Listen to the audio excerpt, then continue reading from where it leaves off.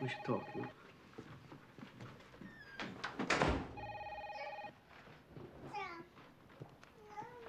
LaMarca.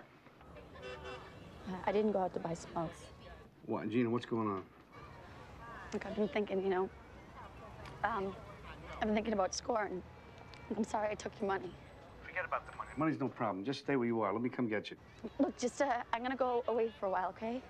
Gina, don't do this. You're gonna regret it. Angelo needs you. A kid needs his mother. Don't do this, please. No, I'm look, asking he's better, he's better off this. without me. No, that's not true. That's not true. Please, just, well, I'll come get you. Where are you? You did it.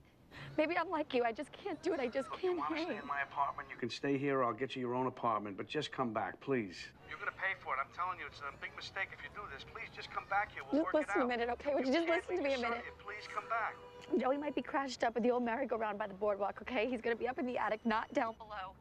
You won't hurt him, right? Of course I won't hurt him. But, but Gina, please come back. Please.